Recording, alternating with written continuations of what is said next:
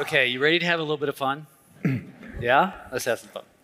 So, um, so I came up with this idea of doing this panel on hot takes, and the before, yeah, hold on, get there. Before I forget, the um, case study from Informatica that I mentioned to you today. If you're interested in that, you, that code works uh, well. You can download it. It's available to everybody. I didn't get that on the table uh, this morning, but it's a really, really good case study. All right, a hot take, an opinion that's unpopular to the point of controversy. So, um, so we came up with some hot takes, and uh, every one of them is something that I have heard from either you or many of you or the research team. Okay? So you were the source for these. All right? And what we're going to do for every hot take is we're going to put it up and we're going to start by saying, why is that in a sense true? Why do people feel that way? Why, you know, what, what supports that? And then we're going to go to the con. You know, why is that maybe not so so true and unfair? And just sort of have that discussion. And mm-hmm. we'll keep working through these. And at the end, if we have time here, um, you can submit hot takes. Things you'd like us to talk about, and you can vote on them through Slido. Sound like fun? Okay. Oh, yeah. Now, I uh, wanted to swing for the fences here on the first one. You ready? Sales is the most overrated, overpaid function in tech. Whoa! wow! Exactly. It came from you. no one has an opinion on that. Yeah, no one has no, an opinion. Apparently not. So, so I'm going to open up with you, Frosty. Okay. Because uh, you, you've carried a bag. You have spent a lot of time with sales folks from this community. You're starting a CRO council. So this is your world but let's be honest, why do people feel this way? What supports this? Well, first of all, I can't believe that. Services executives think that sales is overrated and overhyped and overpaid. No, no, I say it ain't so. Look, I think it's because that's what you see us do in sales, right? You're seeing salespeople going out and, and doing kind of low value activities, right? We're, we're around taking first level calls when it should be support. And, and yeah, you see salespeople dealing with problems that they shouldn't be dealing with or dealing with little upsells or, or stuff that really could be handled by other people. Um, in a lot more efficient and a lot more effective way. So when that's what you see salespeople do, and you don't see the hard stuff that they do, like going around and uh, you know, aligning multiple stakeholders in different geographies or dealing with complex RFPs or legal negotiations, you're going to have that opinion that it's overrated and overpaid. And, and I can understand why, especially if you don't see everything they do. Yeah, and I, and I think one of the things too, you know, we talk about sales holding the company hostage. You know, JB uses this term in terms of transformation or change. Well, we can't do that this quarter because it, and, and you feel like, hey, you're slowing everybody up here. You know, you're, you're, you're flying the ointment. And, and Laura, I would definitely want to hear your perspective from the product side. Product people I know get incredibly frustrated with sales. What, what's driving well, that? you know, if you look at every product roadmap, the two biggest influencers on the product roadmap, you would like to think it's data and it's customer success. And the two biggest influencers are what we call the HIPPO, the highest paid person's opinion, right, which is the executives, um, and sales. And, and particularly in these as a service models, we're still responding, we're still responding to sales, to the new land motions. Mm-hmm. Um, but you know, I hear it as well uh, that you know that sales is uh, overpaid, overrated, and and the the the product folks are trying to figure out how do I how do I contribute to that by making them more productive, basically, right? Being able to maybe deliver product qualified leads and shorten sales cycles and doing that, but ultimately bringing down that cost of sale overall, right, as a result. Well, yeah, it, it's funny. You know, I was I was uh, I was asked in one of our board meetings yesterday. You know, what does what does a healthy relationship between sales and product management look like? And my answer was, I have no idea. I've never been part of one. I've either been in companies uh, where product management just ran over sales like they were, you know, penny on a railroad track and I've been in ones where sales is the one that's you know dictating on this stage right before COVID. JB stood up here and said the most dangerous thing you can have is field built offers where you take a highly customized deal that sales did and turn it into an offer. And so um, yeah, I, it's it's a big thing, Laura. You're right. We've got to fix it. Well, I think maybe spoiler alert, because you and I have talked about putting a framework on the table. Maybe we'll tee that up for the next conference or in advance of that, uh, where we can show how they, they, they can work better together. No. I- Yeah, go. Being Yeah. the services guy, I, I got to weigh in, but um, you know, I think one of the challenges, maybe the biggest challenge, is that salespeople are great at selling customers what they want. What they're not great at doing is selling people what they need. Being able to prescribe, understand business challenges, understand operational gaps, and then being able to sell the customer what they need and being able to defend that. So I think that's a real big challenge with a substantial portion of salespeople. And You know, maybe I'll- that's the, sorry, maybe that's the source of the statement like we're just seeing here, right? Yeah, yeah, a- absolutely. Yeah. And um, and I want to build on that, and then I want to and get your, your thoughts here.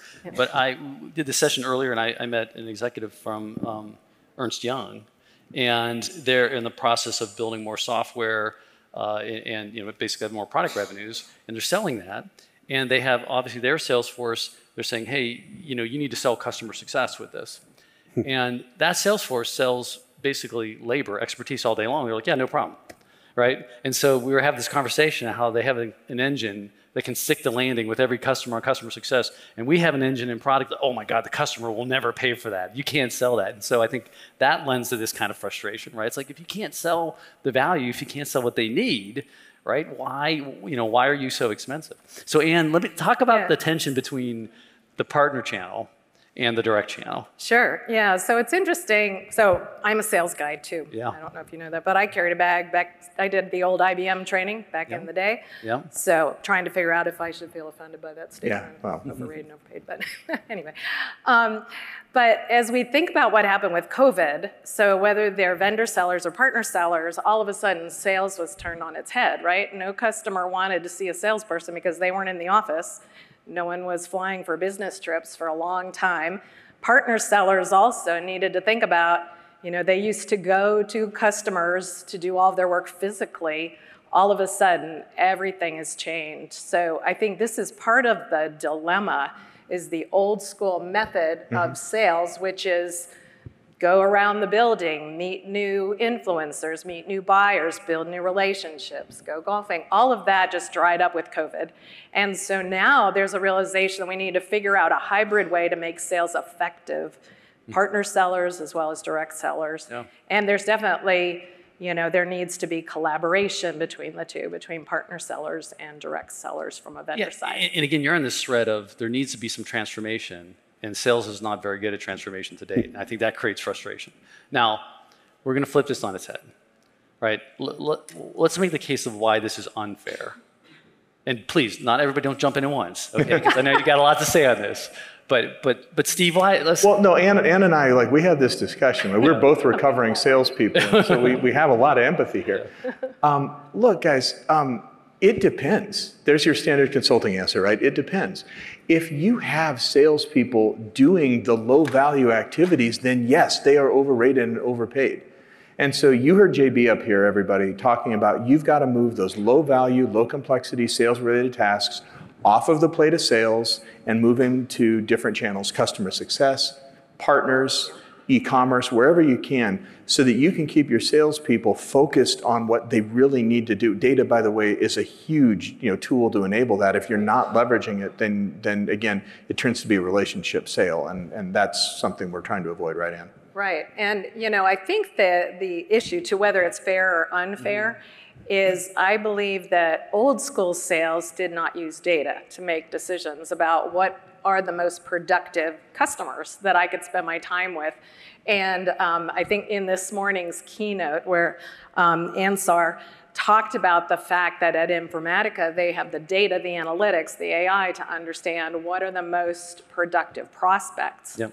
that are worth really putting the resources on because sales it is a high expense resource. Yep. And so if you can make sure that you're investing, you've segmented your customers really well based on opportunity and then put those expensive sales resources in the right relationship models to focus on really gaining that value.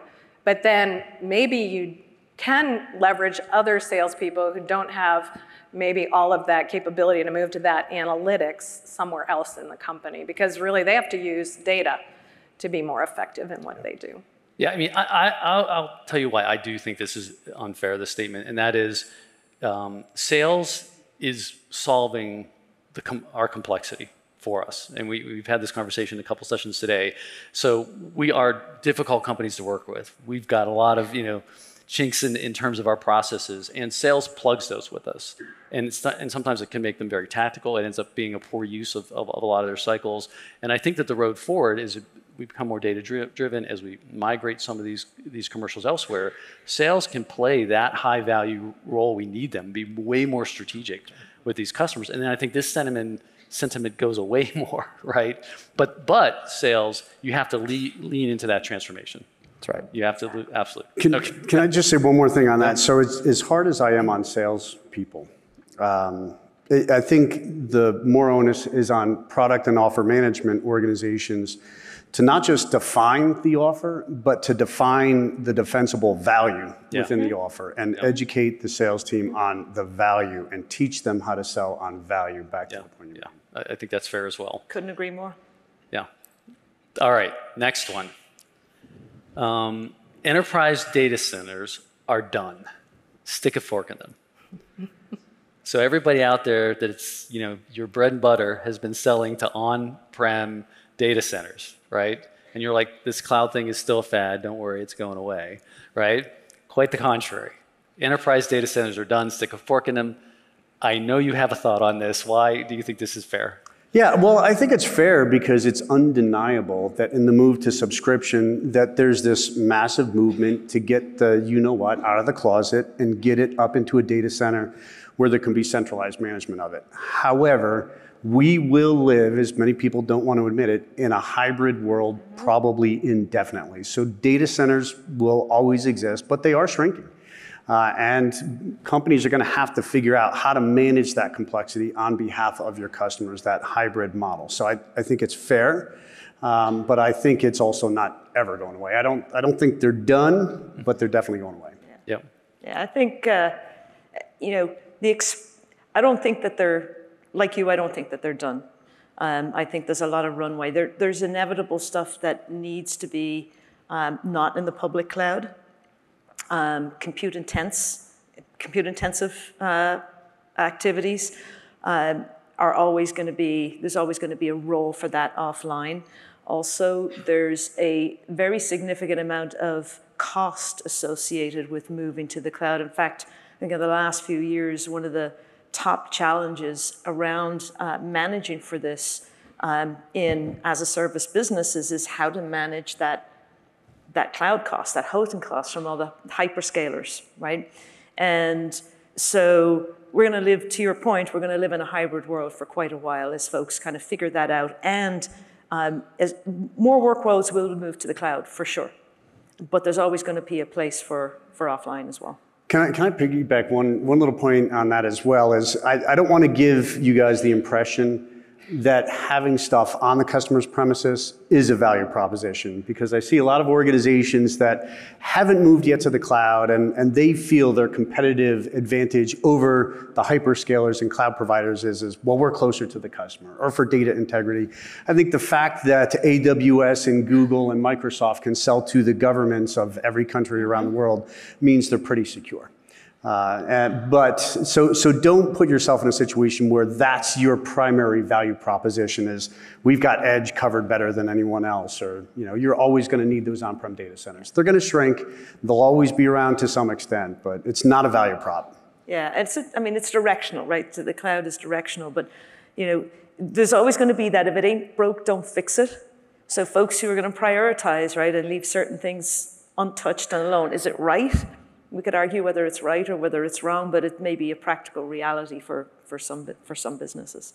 So, so, you- so you guys are arguing that you think there's, you know, there's life in these data centers. The only observation I'll make, and it's the point that you've made to me several times, is that for folks that are selling stuff on-prem, um, you know, they're fighting over that market share, and meanwhile, they don't they're not looking. They'll take like storage, right? Like, hey, we're fighting over other storage market share, and it's like, oh, but by the way, do you see how much storage is moving off into the over there anyway, right out of your market into that market? So I think there's still a little bit of denial there. Yeah, there's a lot of denial. I talk about Elisabeth Kubler-Ross's five stages of grief for tech companies that are in denial and bargaining mode, and they're caught in that loop.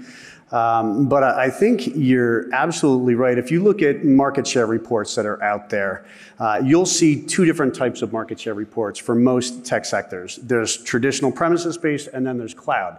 The reality is, is most customers don't have a predisposition towards one or the other, and it's a combined market share. There's one storage market. And if you look at the total combined picture, or compute. There's one compute market. If you look at the combined picture, it is undeniable that the cloud uh, is eating away every day at these premises-based providers. Yeah. Well, and the other area of denial, and it's where you see it, Ann, is you know with OEMs and their and their partners that we're making the money by dealing with everything on-prem, but is that is continues to shrink. There's Yeah. no there there. Yeah. It's like, well, what do we do now? Yeah, the partners need to create a new business model in Yeah. order to deal with the shift, because you're absolutely right, and especially when it comes to hardware. Yeah. That is the big nut to crack or fish to swallow, as we like to put it. so. So, so this may not be you know completely true, but I actually believe that companies are better served if they over rotate on this and, and say, well, what if this is true? what if this is becoming more true, which it is? How are we you know going to operate differently? Um, here's the next one. Uh, enterprise SaaS will never be as profitable as on-premise software. Full stop. SaaS will never be as profitable as on-premise software. Oh, I disagree. What's that? I disagree. I think, I think it can happen, and we've seen examples where it has happened. So is it possible? Yes, we've seen that with, you know, the likes of Adobe and I think we've seen it once. we've, yeah, but Adobe. I am serious. I, I, follow these numbers. Adobe went from their old model on-prem to the cloud. They absolutely have better gross margins and profitability. Yeah. Who else? But we Who else? well, okay, SaaS, if you, if you separate, if you include, maybe it's not XaaS, right? Because the platform providers are certainly, and the hyperscalers are demonstrating that they can make money, right? So if you have an embedded platform, that's one, you get, can get revenue multipliers But not as there. they're not making as much money as an Oracle or an SAP did back. SAP Back in the day. So- 47 points. So we're talking about make money um, as profitable. So we're talking about 25 points of OI, yeah. with 20% top line growth. So yeah, definitely slim pickings. Is it possible? We've seen maybe N of one. Can others replicate that? I personally don't believe that they can't. I think if it's been shown that it can be done, then there's a set of attributes associated that says you can do it. It's a question of, you know, do you have the I mean, is you know, is Adobe the black swan? I mean, the, the anomaly here, right? And and I mean, I'm just looking at the data quarter after quarter. I just looked at Q3 snapshot for TSIA Cloud 40, uh, a stunning negative 13% OI. and it's getting worse, right? right? Worse than it was the previous quarter. Um, and you know, typically this is 30% on COGS, which means you have a 70% gross margin, but then you put all the other costs, and you're you know you're underwater. Um, I mean, there has to be dramatic changes to that business model for it to get anywhere close to the 20, 30 points. You know, again, 47 that Oracle used to throw off. You know, which which uh, an enterprise software company. That's folks. If that's what we're from, that's the life we're used to live, right? So, We- so do you think, points- so what do you think, Thomas? Do you think it can get to consistent 10% OI maybe? I think it can What do you get. think? Yeah, that's a good question. I think there are going to be some exemplars who are going to are going to hit that 20, 25 mark, but I think it's going to be the minority case. I think for most people running SaaS in this room, um, if you get to 10 points, you're you're doing a pretty good job. Um, because to get to the 20, 25, you have to pull all the levers that JB talked about on day one. And everybody's heads are already reeling about, oh my God, can I even do like a third of those levers? So companies that pull all the levers, I, I, I'd take that bet they'll get there. I think that companies that don't, which would be a majority of the industry, 10 points is going to look like victory. And I think everyone's got to think about what is my, le- I mean, think about it. This is taking a huge haircut That's right. and how much you're dealing. I mean, do you, I mean, any of the companies you're talking to that, that are running SaaS, do you think they're ready for the reality of a 10 point business model? No, no, they're not. They- Look, I'll give you a hot take. Enterprise SaaS will never be as profitable as on-premise software. Yeah, Doesn't matter. You got to do it anyway. Yeah. Okay. And what I see time and time again is uh, software companies are clinging to these old models, thinking, "Well, I can't walk away from my traditional on-prem software. I don't have the same margins." You're right, but they're going to walk away from you Yeah. because that's not how they buy anymore and that's not how they deploy anymore so if you're going to be you know addicted to those margins okay great you can ride those margins right into oblivion We, Yeah. You know, we, we call it swallowing the fish for a reason, and it's ugly, stinky, bony, and it's tough to choke down. And the financial model is one of the biggest issues. And I do tons of financial modeling for companies going on an as a service journey. And I will tell you right now, your CFO is going to be your best friend or your worst nightmare. And I was ready to jump out of my chair because I was going to say, fact. They feel that way because it's a fact. But I mean, there are some examples, and, and the reality is, is, so if you're on an as-a-service transformation, one of the most important papers for you to read, uh, and it's getting a little bit dated, maybe we need to update it, but it's Emerging Economic Engines of Technology Providers. We talk about the four models of the subscription providers going forward.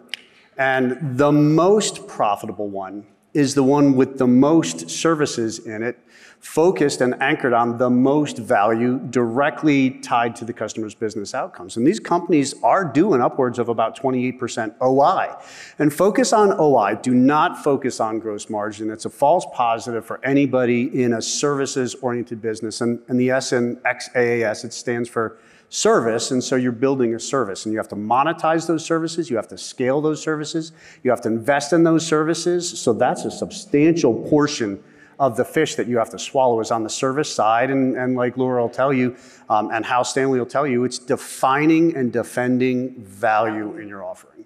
Yeah, and I'll, and I'll, you know, I'll give you a little bit of an out here on the profitability side of it. So I was just looking at a slide in the previous session that I, had, I forgot I made of um, profitable SaaS companies out of Q3, and there are there are you know like four or five of them eh, out of the 40 companies. Veeva's one of them, and, and I think they're sitting maybe around 20, 21 points, mm-hmm. right? And to your point, diversified economic engine. They're monetizing professional mm-hmm. services. They've got some managed stuff going on. It's not just so. I, I the big caveat here is if you want to get north of that 10 percent, if you want to be a product company just slinging technology in SaaS, I think you're lucky if you're 10 percent. I think if you want to go value and you diversify the economic engine, then I think yeah, that is going to give you the ability and the right to get to you know 20, 20-ish. Your, your value proposition is not how many features can I turn on and how many can I turn off? How high can I scale? How low can I scale? You know, can I move prem? Can I move hybrid? That is not your core value proposition going forward. It's getting closer to the business outcomes. It's playing the why game with your sales organization and your offer teams. Uh, we have five nines. Why is that important? We have six nines. Why is that important? What is the business result of having that level of availability? Getting closer to the business customer. That's going to be what makes these businesses more and more profitable. Yeah, I agree. But I, I do think that there are a, a lot of CFOs, CEOs that still have to get to the knothole on the hmm. reality of the difference of these economics. I can't tell you, and Laura, you and I have had this discussion, how many, you know, uh, offer teams, product leaders are said, yeah, I'm being asked to SaaSify our portfolio, and the CFO told me just make sure the margins are the same. and then they're knocking on our door going, how do I get it? You know, it's just like that. Did they understand the different profile here? So there's some, there's a lot of, of learning on that one. Mm-hmm. Okay, Ann, this next one, Oh. I put in here just for you. Are you ready? I was thinking. I'm ready. I was Roll, thinking please. of you.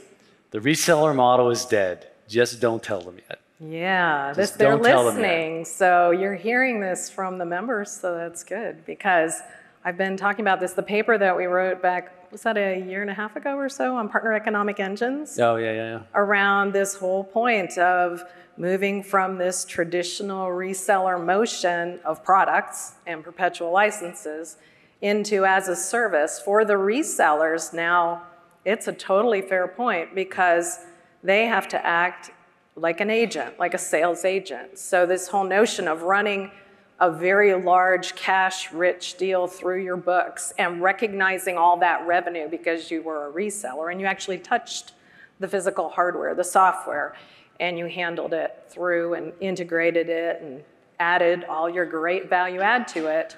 In as a service, a seller that is a partner is acting like a real estate agent would selling my house. They don't ever own my house during the sales process, but they own that process from opportunity identification to a closed book deal. And they get paid a commission. and their recognition of revenue is on that commission. And so the business model for the partners now, back to the conversation you all just had about software companies, they need to diversify. They've got to build a new business model where they're really thinking about, all right, now we know that we need to actually build new capabilities. We need to find new annuity services offers that we can create that will complement our vendors, that can create a new revenue engine around services, recurring services. Or we need to create um, potentially intellectual property that we can embed within the offer to verticalize it more specifically to subverticals and bring that differentiated value add. So the, I mean, the cool thing is I'm getting an opportunity to speak with partners about this mm-hmm. at conferences. So able to really talk to them about how they need to step back because we found in our data that the companies um, that are really creating this new strategy to deal with as a service are the ones that are going to be the most successful in the final analysis versus trying to just sort of bolt it on to yeah. their current strategy. So, I mean, what I, especially if you put the word traditional in there, the traditional reseller model is dead. Right. I mean, I think that is a completely fair and accurate assertion. Mm-hmm. I think it's true. And I do think, and just watching, you know, you and all the conversations you're in in the industry, the the OEMs are like this is like this secret that they just they're like you know but just don't let them know my partners yet. right. I don't know how they're going to make money anymore. Right. And and instead of leaning into it and saying mm-hmm. I got to help them diversify. Right their economic engine. Yes. It, it, you know, look at somebody like CDW. If you look at them 10 years ago, they're cranking out their reseller. You know, you talk to those folks, those guys today. You, you look at their model. I did a, a podcast episode with Tom. I mean, they're, um, you know, they're incredibly diversified. Their economic engine. That's how they're making it. Yeah. And, and you know, this conversation, this handshake between products, mm-hmm. we have is, is these guys are talking all the time because the poor channel folks are like, I don't know, we got this new as a service thing, and, right. and my partners the, the model's dead with this. You know, how are they going to make money? Well, Product didn't think about that. Yeah, the offers yeah. aren't developed with partners in mind necessarily. So this well, is the thing Laura and I are like. We've constant. been talking about this. So so the data shows when you know when when products are product teams are soliciting input, you know, as part of the uh, product experience and the offer designs and their platforms and so forth. The data shows that they're you know, soliciting input from sales and success and support and, and all of these, and customers, of course. Um, they're soliciting input from the partner community at half the rate. Wow. Yeah. and yet the whole partner community has got to adapt and transform themselves to these new as a service offers and platforms.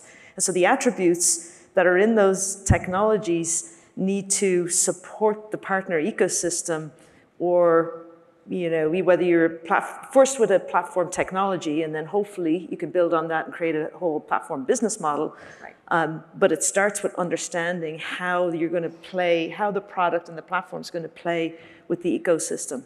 And we're, for those that are transforming, that's, it feels like a bit of a blind spot, actually. Yeah. Hannah and I have talked about this quite, yeah. quite a bit. Yeah. Now this this one again, this one I think is very very true, and people still haven't internalized it. I, I would I would just say it's it's um, it's not dead. It's just way different. It's different. Yeah. Yeah, and we're also seeing partners become managed service providers. So the interesting shape shifting that's happening in the partner ecosystem is they realize they're not a one trick pony anymore. They can't be if they want to survive. So they have to potentially acquire new professional services organizations, companies even, to add to their skill set or acquire or um, build a managed service so they can provide their own value added services to customers. Um, and then their revenue picture becomes different because then they actually do take in the assets and then push out the services. Yeah, I mean, for OEMs, think about your partners. The most successful ones in the technology era, 2000 to 2020, were system integrators. Uh, they could take complex technologies and integrate them. The most successful partners of the future are service integrators that know how to build layers of value on top of these integrated service ecosystems. Yep. Uh, I'll tell a story because I see our, our, two good friends here from CompuGen in the front row. And then we, we were just reminiscing. I was up in freezing Canada in February, like a decade ago, right, Marty? And to talk about how business models were changing and met with their CEO and CFO and you guys were pretty hardcore reseller. That was the big year, and there was just this discussion of like, why would we ever want to leave that? Mm-hmm. It's scalable. Yep. We know, you know, this is not super labor intensive. And Marty's sitting there running professional services, going, hello, I think maybe this is going to be important in the future, right? And the CEO, who's still still the CEO, to his credit and that management team's credit, they have a very diversified, you know, value proposition right now, and you would not be the company you are if you wouldn't have gone on that path. So kudos to you. But there's so many, really, you know, companies that need to do that. And again, OEMs, I think you got to help with that journey. You just can't say, I don't know what I'm going to do here. Yeah. All right, this next one I put in here for you, Steve. I was thinking about you and I put this one. Ready? Okay. Ready? Services will own the largest revenue number for the company. Get over it. Oh, you know, Sales, you got to get over it. y- y- services. Not only do you have to get over it, you got to get with that. Okay, like, I, yes, yeah. It, it, when services are driving the economic engine, you're going to own the revenue, and and and you gotta you gotta get comfortable with that. Seriously, because you are you are the economic engine, which means it, this idea of kind of trusted advisor doing services things and not really being part of the economic or sales thrust um, is going by the wayside. And so um, we'll, we'll, it, it's more than fair. And it's, it's going to be, you know, customer success, delivery, all of it. It's, it's really something that y'all got to get used to this. You are part of driving revenue now, big part. And sales is going to be there with you, but you can't just leave it to them to solve the problem. Yeah, I think it's a great statement. Services, you got to get with this. You Yeah. got you got to you got to embrace this because I think I think this is definitely. I don't see a way out of this um, in terms of all the things we were talking about on Monday. JB was talking about just getting you know the cost right for this, but I think a lot of service organizations. There are still um, still lots of service organizations that are completely cost centers, and this philosophy of if I start to have commercial responsibility, the customer will no longer trust me. And I, I- just, I, we know in the data that is just not the fact. You can own the commercials. Um, do it. Five years ago, I, I was meeting with one of the leaders of one of the largest hardware companies in the world, and they told me, we're a product company and we'll always be a product company. Services is something that our partners do. And so I said, okay, well, we'll see. And if you read every one of their 10Qs and 10Ks now, that is their leading line is X amount of revenue is now coming from subscription.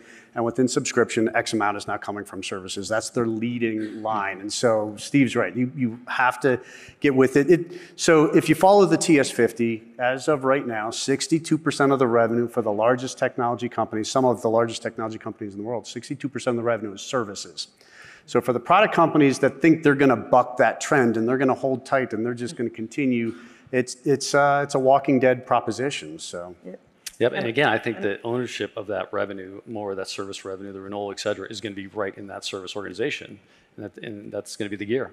And I'll, I'll maybe Yeah. just comment on, I mean, I spend a lot of time with, with product teams and the conversation is how do we, if we think about land, adopt, expand, renew, and the different teams that are engaging in that commercial cycle, how do you build LAER efficient solutions? How do you build LAER efficient experiences mm-hmm. in, from a product perspective? So, you know, it all kind of ultimately dovetails. Yeah, yeah, absolutely. So this n- next one is a topic that I, I did the executive advisory board on Monday. I just did the healthcare technology advisory board today, and we we talked about this topic. So I'm going to weigh in on this one first. But here's the hot take: employees are never coming back to the office on a regular schedule. Never. So this is really fascinating. You know, I'll just kind of give you, uh, you know, sort of a snapshot of everything that I heard, and we can we can debate it. But um, it's very clear that you know, companies there are certain companies that really do want to get employees back in the office on a schedule, ideally two to three days a week, and they're getting. And some are now crossing that line where they're starting to mandate that. That is happening. It's a minority practice, but that's starting to happen.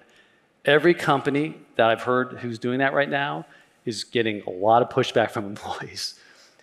They're getting a, a lot of non-compliance, a lot of non-compliance. And, and we talked about one of the board meetings is employees, COVID has taught employees to ask one simple question about coming into the office. Why? Why? I've been two years, I've been working productively at home here, and so I've got to commute now. Why?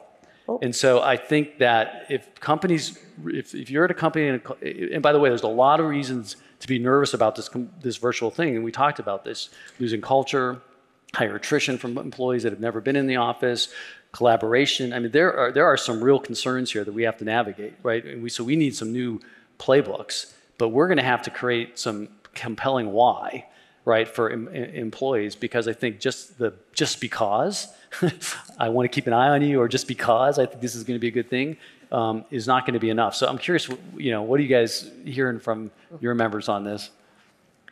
Uh, I'll comment on it. I think, you know, I think what I what I hear in talking to to folks um, is that so much of this is influenced by the life stage that people are at, right? So younger folks, young single folks, and I hear this from my own son, who's you know in his in his mid twenties now, and misses feels isolated, right? Feels mm-hmm. isolated. Never work. He's been working for a company. He's never met anybody in person. It's been Yeah. permanently remote, right?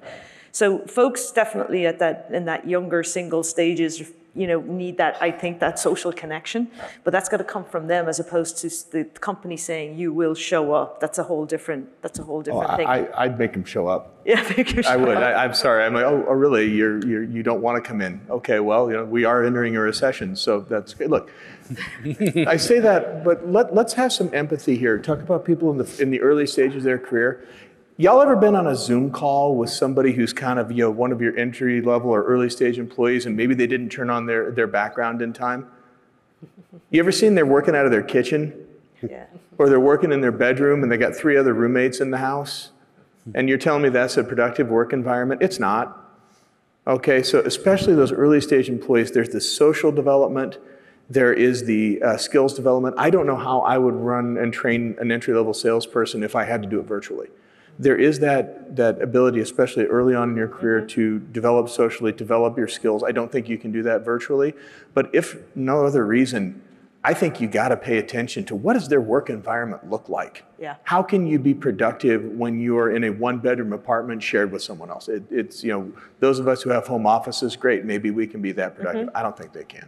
Yeah, I couldn't agree more. I think that life stage is a huge thing. I mean, for those of us who are, you know, have homes and we have space and we can spread out and, you know, it's more convenient. Uh, that's that's all great. But Yeah, I, I totally agree, and I, th- I think this is a good conversation. These are the exact conversations that were happening in the board on this because it is really a nuanced problem. It's life stage is one of them, right? Um, again, ma- making sure that people are building um, relationships. You have flexibility though on the uh, on the other side.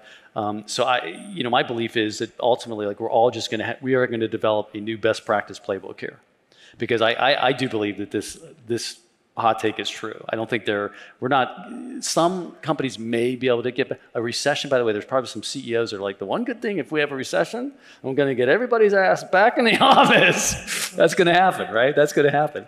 But, um, but I think that's going to be a minority, you know, play. I mean, I, have you heard anything, to, you know, specific from your members on this? Uh, you know, I, what I hear, and, and when I look in the audience, is, is what I connect with is people, human beings are social animals. We need interaction with other people, and you just can't make the connection over Zoom. I think you probably can be productive.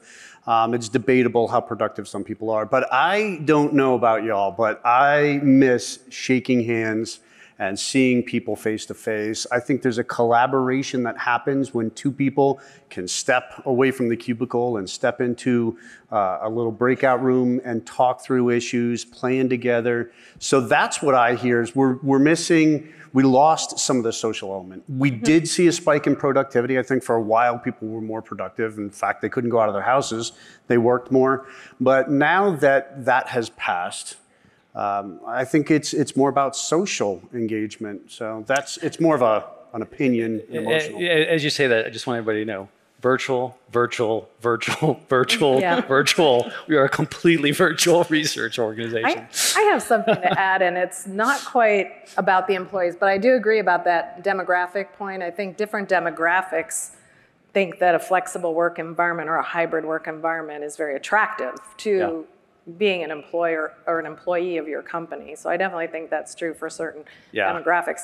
But it's interesting because I've been working with a lot of you in the industrial automation space, is that, and as I learn about partnerships and smart buildings and what you all have done to kind of deal with the whole COVID transition of having empty buildings or nearly empty buildings or partially empty buildings and how to um, really assure that you're not conditioning the air in all eight floors when you've only got 50 people in the building and how can they manage the energy consumption? And it comes back to the cost of actually operating the, the building and I, I think it's fascinating how our industry folks have really adapted their technology to meet the needs of this issue, which I do believe, I personally believe it will continue to be hybrid um, ongoing because we see a lot of large companies, large tech companies who are saying, we're going to let people choose. And, and I think that's an interesting trend. Well, you know, I did a podcast episode with a with a woman who, who specializes in um, you know uh, conservation, energy, et cetera, and it reminds me of this data point, which is just interesting. So you think that the fact that you know everybody's staying home is really a good thing for the the environment, which is what my assumption was. And she said actually it's problematic because our homes are not heated and cooled as yeah. efficiently as those buildings. Yeah. So we're burning a lot more energy being at home, even though we're not commuting. So, sure. so it's not a huge slam dunk for the environment that we're all home, which I, I, I thought it would be. Um, but I, again, I, I, I, will assert, I, I think we, the genie, you know, is out of the bottle on this with, with employees. And, you know, pre-COVID, you know, there was the under foundational assumption was you can't have collaboration, you can't have productivity, you can't have all these things unless we're together. And it was a super minority uh, case to have completely virtual companies. COVID blew that uh, out of the water, at least in the short term. And we, we talked about there's still some long term things we have to navigate, but it, it, it reset expectations for employees on this. And I don't think they're going to easily, it's kicking and screaming to go all the way back, I think. All right, next one. Ready? Oh. Customer centric is the newest square for corporate buzzword bingo. You guys ever raise your hand if you've ever played corporate buzzword bingo? Has anybody ever played that? That's a great game. Except if you're the speaker and you're talking, and somebody in the back row goes, bingo!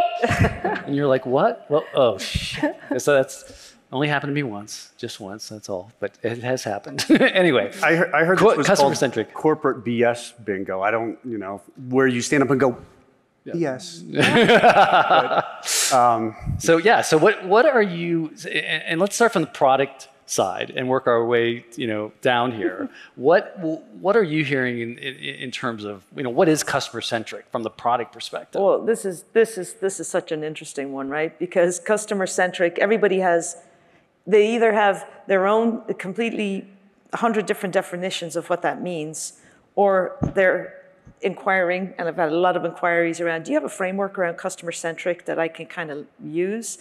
And actually, that was inspired my power hour this time because being customer centric means that you have you you want to deliver a kind an experience right that is that your customers want or that they anticipate or that they're going to like. And so how do you how do you develop that? And then how do you align on that internally within your organization? Um, and what's interesting when we I, I unfolded a series for those of you who are there you might remember this i unfolded a series of of values and operating principles that ultimately we're all going to need to adopt if we really want to double down on being customer centric and create a core competency in this experience, digital customer or digital experience or experience led growth, right? And ultimately to get to a distinctive competency, which is where we can competitively differentiate on that basis, because that's kind of what we all want. Um, and ultimately, 60% said, no, we don't have any kind of alignment on you know, core values like data over opinion and um, out, outcomes over outputs and, and so forth. Um, and, and about 40% said, I think we do, but I can't articulate them. So I think until we get that across product and a consistent view across product and services and sales and, and all of the customer engagement, all of the teams that engage with customers and deliver to customers.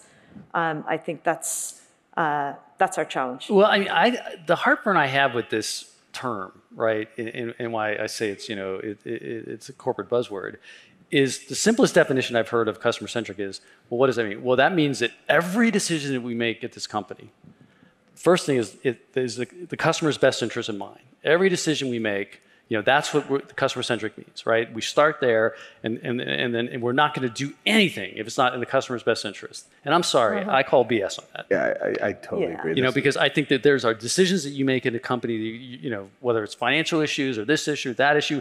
Hey, man, I'm going to have to end of life this thing. It is what it is. That cus- is customer centric. I'd say, oh, I can't do that. I mean, it's just to me, it's it's an over rotation.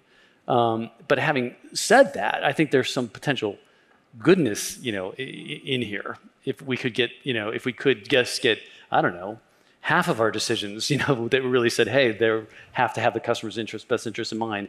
And I don't see that you're on, Laura, how people are really operationalizing this. What does it really mean? Yeah, I well, if I talk about within product, if you get a lot of customer input right into the product, and you say, well, we got to respond to every single request that comes in, or otherwise we're not being customer centric. We need to give them everything that they want. Well, you can't possibly do that because every everybody knows that every roadmap decision is an exercise in how to twi- fit 20 pounds of stuff into a five pound bag. So there's choices to be made. The other thing that we realize is that when a customer asks for something, the, the question is to continue the, the layers of the five whys in a sense, right? To really kind of dig into what is really the root of the question or that, of what they're asking for. Because sometimes they'll say, oh, if you just put the big blue button over on the upper right of the screen, that's going to solve all my problems.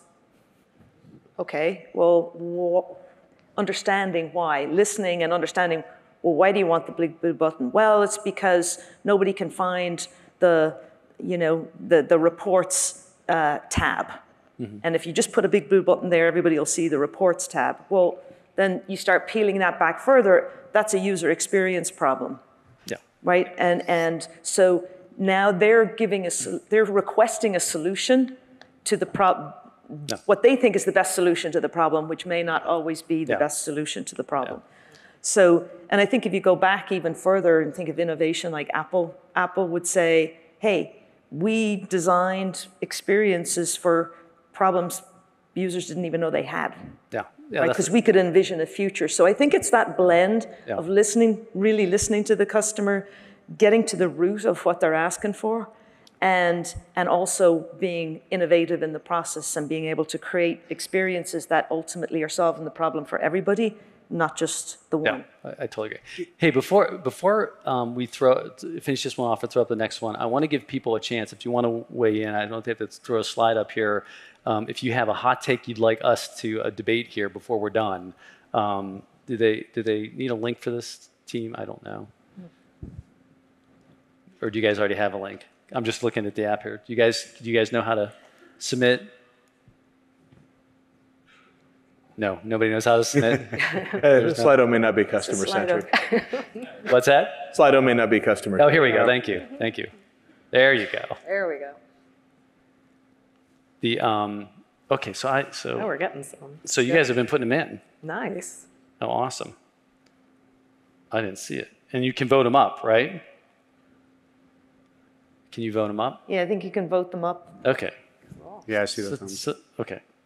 Yep. I So while we're waiting, Oh, here we go. Here we go. Yeah. I'm sorry. Go ahead. I- Yeah. No, I've got a point on this customer centric because to me, it's like those fashion trends that were in once, but they come back around. And when I hear this notion of customer centric, I think about the book Discipline of Market Leaders that I read a long, long time ago by Michael, I don't know if you pronounce his name, Treacy, T R E A C Y. Um, but it was published in 1997. And he talked about the three potential strategies a company could have one being focused on you've got the best quality product, so you're very product centric. The second one is you're very operationally centric, cost centric, so you're driving the lowest cost model. And the third one is customer centric. I remember this framework. Yeah, and so, you know, when I saw this as a buzzword, I thought, huh, it's like bell bottom pants are now flares. It's going to come back around. So the question to what Laura is talking about is this really going to stick? And what does that actually mean? And will it really be ingrained in a culture of a company? And then a lot of members are talking about how do we help partners to kind of stop talking about products and talk about outcomes and, and that being customer centric. So you have to really understand what does the customer actually really want and then sell in that manner. So I think of it more from the sales motion when I see customer centric And how do you change the sellers to be talking about outcomes? I want to just add one point to what Anne said because I think it's really important. She's talking about experiences. And so I, I, use this analogy all the time. Who does a better job of engineering roller coasters? Is it Universal Studios or is it Disney? I mean, the answer is the technical roller coaster is better at Universal. Whose roller coaster do you have a better experience on? and that's Disney because they obsess over the customer experience. Mm-hmm. They know mm-hmm. the customer inside and out. So. Yeah. Mm-hmm. so let me let me cherry pick a couple of these. These are some good ones that came in here, um, and and this one, Steve, is for you. Okay. Sales will never embrace using data in any meaningful way. Well, never is a long time. all right, you know, sales is going to fight a kicking and screaming. We have all been taught that sales is art, not science.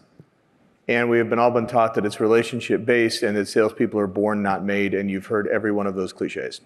But I will, I will submit to you, if you will rewind back to the start of your careers, for those of you who are in your 40s or 50s, that it wasn't very long ago that marketing was the most fluffy, esoteric, non goal oriented place in your entire company and everything they did was you know, hard to track and impossible to prove the ROI. And I will challenge that right now, your marketing organization is probably the most data centric group in your entire company.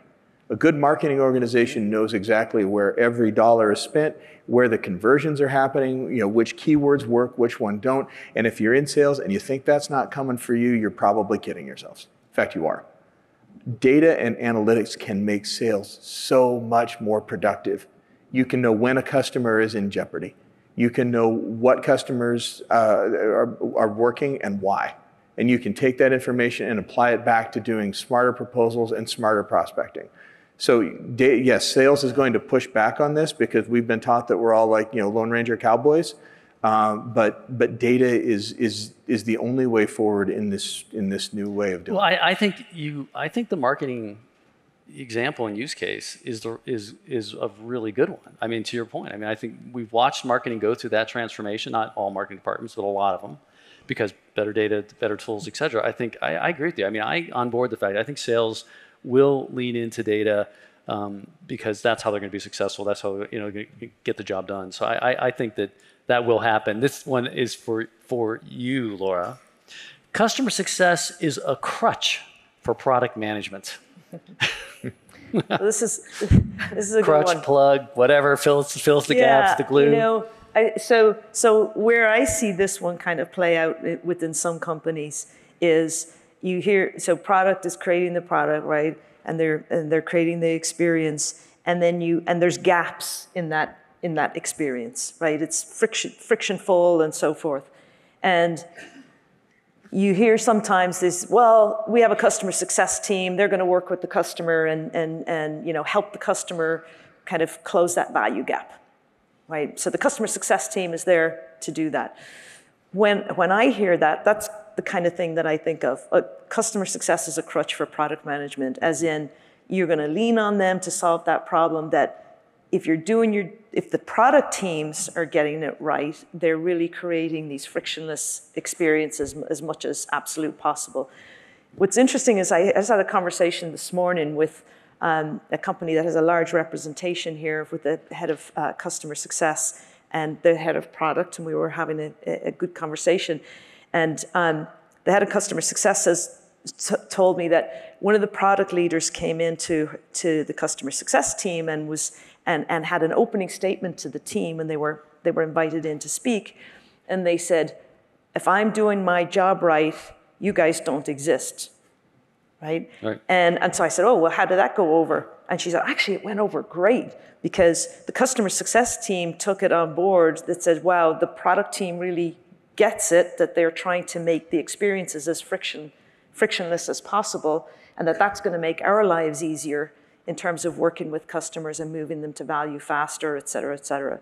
So I think that there's this crutch element is when product teams don't embrace that concept. Yeah, and I'll just and I'll flip that one a little because I agree with everything you said. I'll flip it a little bit. I have talked to companies where the product team, especially if they're doing first time ever doing like a SaaS type offer, they're like, look, you know, we're just going to design this thing so well we don't need why do we need customer success this is going to be so easy to you know and that i think is a flawed so i like to they're like hey if i really get this right I wouldn't need you. But I also am not stupid enough to think that I'm never going to need some service, you know, motion. So it's, I think it's getting it the right the right mix there. But I think that arrogance is problematic in a product team if they think that's like, yeah, this thing's gonna be so easy. Because have you ever seen a product That's that's so easy? That's that right. Yeah, not too many. So I did a, a presentation a few conferences ago around closing the, the value and outcomes gap. And one of the questions um, that I had well, to the product teams was, what would you do if you didn't have a customer success team? We're a B2B enterprise company in, as a service with re- recurring revenue. What would you do if you didn't have a customer success team? Um, and uh, they, you know, great answer is I designed these awesome frictionless experiences, but one of the options was panic, and panic was the most voted for option. So I just thought that was. So they need the cus- you need the customer success Yeah. team, and uh, you know you'll never get to having none. But I think if product teams are thinking, if I had a minimal team, how would I design the best possible experience and not use product customer success as a crutch for a poor experience? Yeah. So I'm going to start this one with you and then go to you because you actually have data on this. But services cannot sell. We're making some big bold claims up here about this, you know, services being important, but services, you, you have all these service delivery organizations, you know, that are part of, of your research domain there. Hey, man, Yeah, bad I news, mean- they can't sell. I, I would say um, that Jack Johnson would probably say he has substantial data to disprove the fact that services can't sell. Services can diagnose and services can educate, and that in itself is selling. I mean, the old saying that uh, helping will sell, but selling won't help. So I think services absolutely can, and the reality is, is uh, despite all their faults, the World Economic Forum said that in 10 years you will not own anything, and you'll be happy.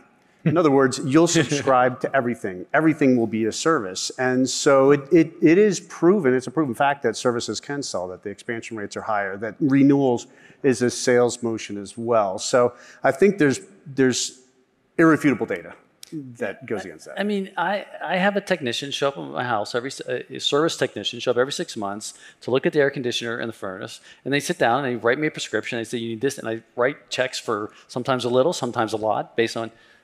That's a service technician. They are trained and they are sell. There's no sale. I, hold on, this is going to be thousand dollars. Let me get the salesperson on the phone here and walk you through it because I don't know. You might not. I mean, in context, you know, helping will sell, selling won't help. And and again, I, you have data as you look look at this. I mean, I think as, as you said, I think we, you know, we make these assertions because we have data that basically says. And the other question here, you do not compromise the trusted advisor status just because commercials are involved. That is a red herring. It, it, it has to happen. Yeah. Uh, This isn't a, boy, I'm, I'm scared of it happening. I, I challenge everyone, embrace it, don't run from it. Um, because you are the new economic engine, right? Your partners especially, right, Ann? I mean, the partners are going to be on their performing services, you know, im- improving your offerings, making them integrated with, with different solutions and vertical outcomes especially. Um, it's got to happen. And I, I remember this, if you're in services, nobody understands services like you. I have heard ad nauseum, sales doesn't understand services. Well, you're right, we may not. So help them and be part of that. You know, make your services easier to sell. Make them more standardized. Make them something that you can make them something your partners can understand. So from even from a product perspective, from an offer perspective, from a lead generation perspective, even from a closing non-complex opportunities perspective, you're the economic engine and you don't just get to off, you know, offshore that to sales. Can't do it. So, man, there are so many good ones coming through here. I am bummed because we only have a minute left, but I, I, I got to take this one right here. CS is the new sales because it's cheaper. Hmm. Hmm. I would say t- two things. Number one, yes, that's a fact. That's a fact because the economics. But but two, CS, we are talking as JB talked about on Monday, complexity. Mm-hmm. You got a lot of complexity, and there's going to be unbelievable hoops that have to be jumped through and navigate this customer. That's a sales motion. And as a, as a company, you pay a premium for that, as we should. If it's an existing customer, as JB was describing, who's, who's you know, it's a very highly probable renewal, they're adopting, et cetera, and it literally is changing paper back and forth to update, to update the, the, the agreement, that's not a sales motion. And why in the hell would you pay the commission of a sales rate for that transaction? So, so I, I say I say yes and no to that one. We, yes, it's cheaper, but we have to get the economics there. But you're paying based on you know complexity. That, that's the reality. We got to get our heads around that. So we have 38 seconds left. I had a lot of fun. Do you guys have fun with this? do it again. We'll do it again next year. All right. Thanks so much for all the, the great sessions.